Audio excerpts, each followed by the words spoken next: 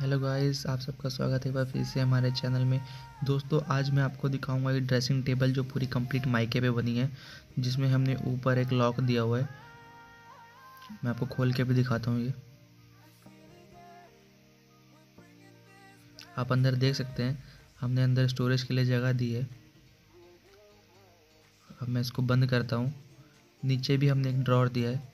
जिसमें स्टोरेज की जगह है। काफ़ी अच्छी खासी जगह है, इसमें आप अच्छा सामान रख सकते हैं कुछ भी।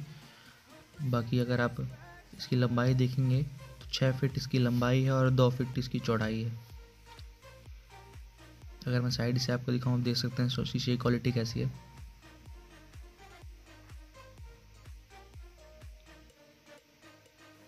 कंप्लीट माइके पे है और इसकी साइड से अगर मैं चौड़ाई दिखाऊँ तो 20 इंच की इसकी पूरी चौड़ाई है।